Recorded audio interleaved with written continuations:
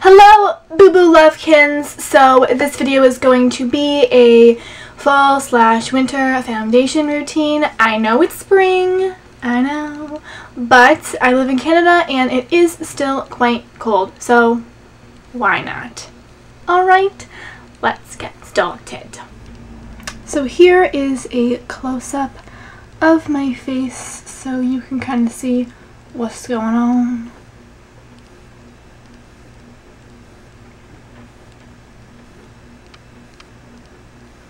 So the first thing I'm going to do is moisturize the skin, of course. I'm going to use the Garnier Moisture Rescue Refreshing Gel Cream for a normal to combination skin. So, you want to use a moisturizer if you are going to prime your skin, which we will be doing next.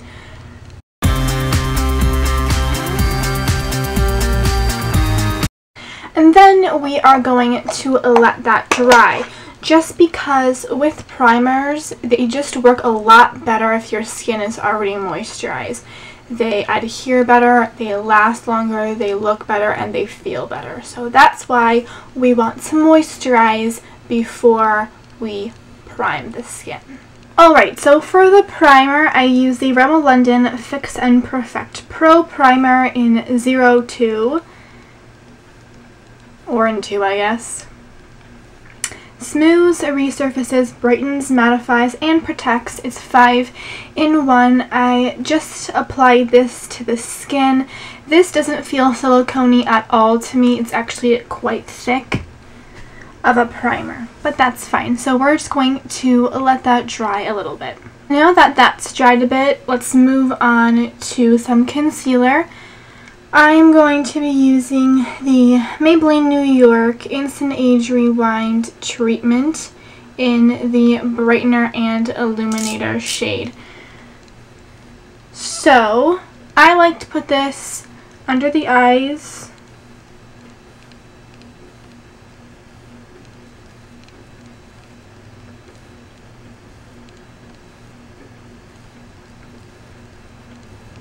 and then blend that in.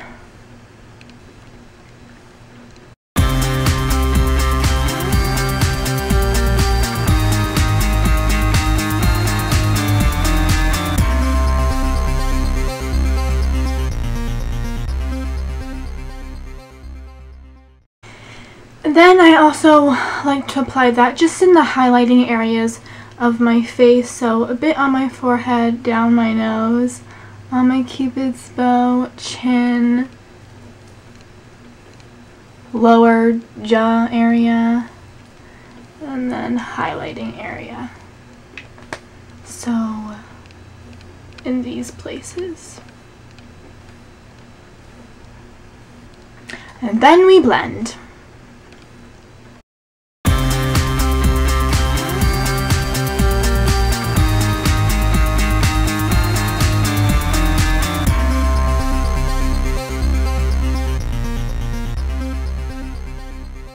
Blemish Conceal. And I'm going to use the Benefits Boing Concealer for that in number 01.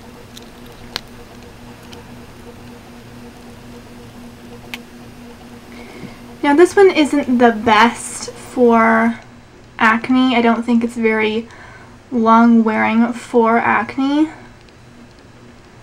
but it's the only heavy duty concealer I have right now so we're just gonna have to live with it. I do really like this concealer for around the nose actually. I just feel like it helps with my oil projection there.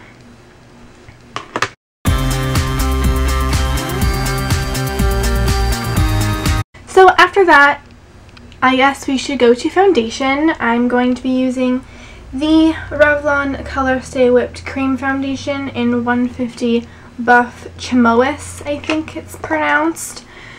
Um, this is probably by far my favorite foundation. Next week's video is going to be a review on this foundation, so stay tuned for that if you're interested. So I just dip my finger in there and then just dot. There is hair everywhere. Did I do that in my hair? No. Okay. Phew. I like to do half of my face at a time with this. And I'm just going to be using the Beauty Blender again.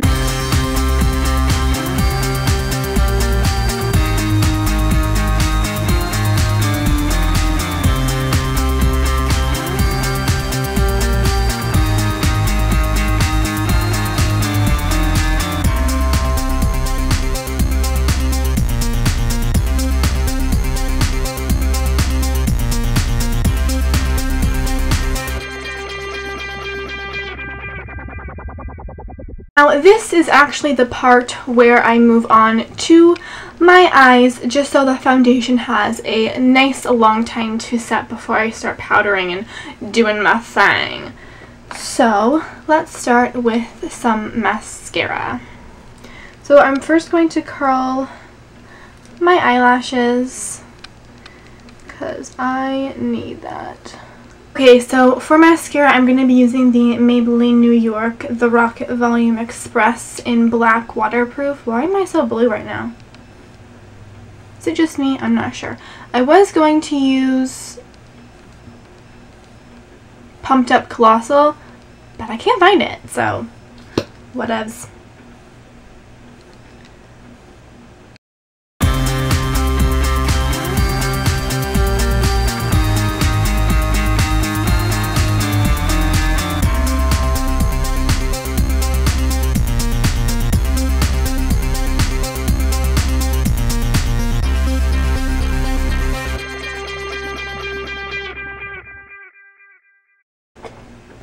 Alright, and then I'm going to use the CoverGirl Lash Blast Fusion in waterproof black as well.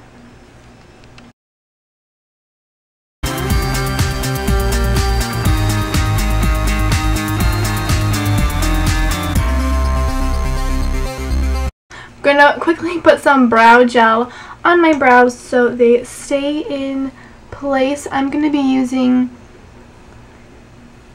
the Maybelline Great Lash Clear Mascara. I know this is super, super weird, but next we are going to do eyeshadow. I know, I did mascara before eyeshadow.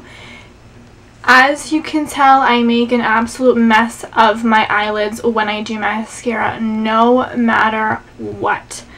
So that's why I always do my mascara first, in case you're curious. So I am just going to take a piece of tape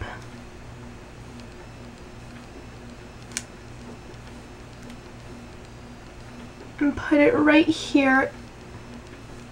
We want our lower lash line to follow upward. I can't stand it when I see people have eyeliner and then it goes straight because it makes your eye look really droopy. You want your eyeliner to go upward so it pulls your eye up. Um, but yeah, I'm putting that piece of tape there so we contain the eyeshadow and we can quickly do the liquid liner since I am still a beginner. This is just what I find easiest for myself. So I'm going to take the e.l.f. eyelid primer and we're just gonna put that all over the lid, inside, under. And then we are going to use the beautiful and amazing Naked Basics palette by Urban Decay. If I can open it, there we go. So, first color I'm to take on a fluffy brush like this and I'm going to take a Naked 2. And we're just going to put that in the crease mobile. No, that sounds weird. In the crease.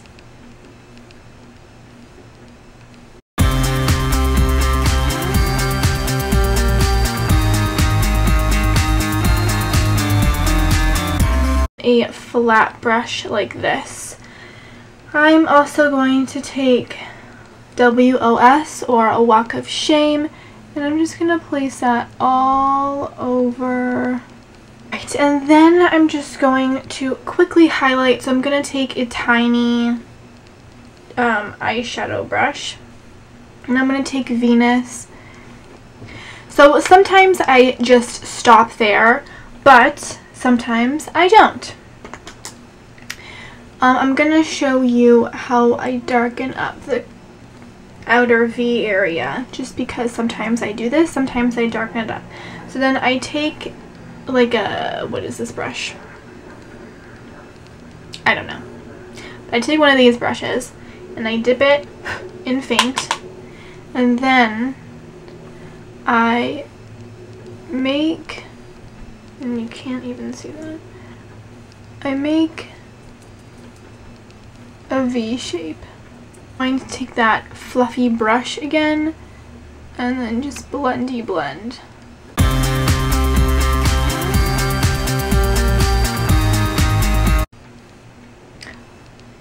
And then I say good enough and then I'm done. Okay, and then I'm going to do my liquid eyeliner. This is the Maybelline New York Line Stiletto Ultimate Precision Liquid Eyeliner.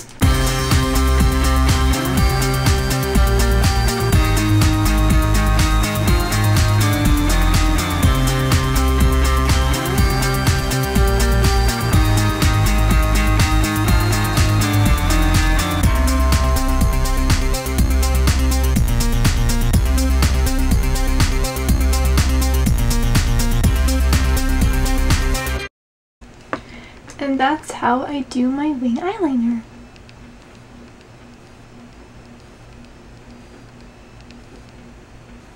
I am going to be using the Becca Fine Pressed Powder in Wheat. I definitely feel like this foundation needs a lot of time to set because of how thick it is. So I like to do the rest of my eye makeup before I powder. That's just personal preference.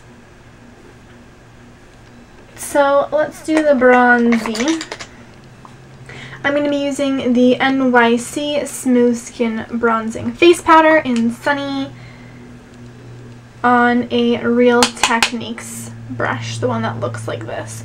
So First, I like to start up here because this is where I want the darkest area to be. So I just do it right here in like an inch space and then I start to bring it down. My hair is all up in my business.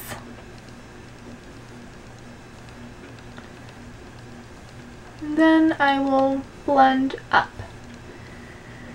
And then I like to do around the forehead.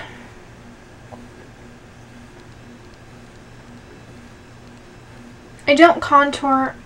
Do you see all this like little hairs? No. I don't like to contour um, or bronze my nose or under my jaw because I find that if you put a darker color right under the jaw, it makes it look like your face and your neck are two different colors from my experience. The blush I'm going to be using is the Victoria's Secret Makeup Luminous Mineral Blush Duo in Pleasure. I think that this could totally be my favorite blush. I'm loving the mineral. I'm loving the bits of shimmer. I'm loving it. Okay, so again, I'm going to start off back here. Then I'm going to take a stippling brush. Just kind of blend those two.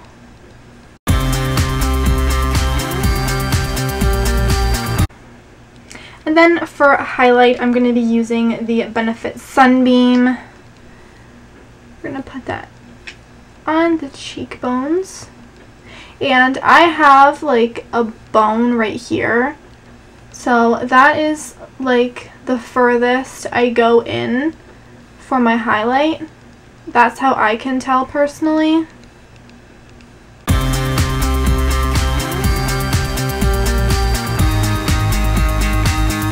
What I've been wearing recently and I'll just explain as we go along. So first thing I'm going to use is the Urban Decay 24-7 Glide On Lip Pencil in Native.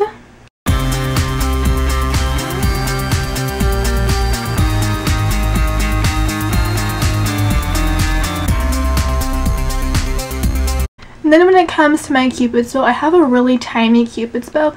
So a lot of the time I just like to draw right over it because it makes my upper lip look a little bit bigger. So the reason why I do 300 steps when I do this lip combination is this product right here. It is the YSL, what is this? Rouge Volupte in number one. I think it's like nude beige or something. It's the pinky nude color. This lipstick is super, super, super, super creamy, so it doesn't stay on the lips. So this is what I have to wear a lip liner with it because it literally does not stay. And I paid like $40 for this, so I'm definitely going to be doing all these steps just to wear this lipstick because I ain't gonna waste my money.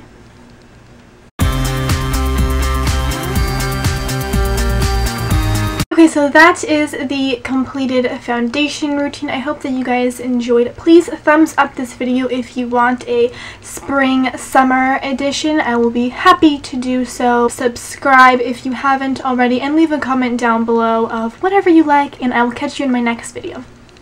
Toodles!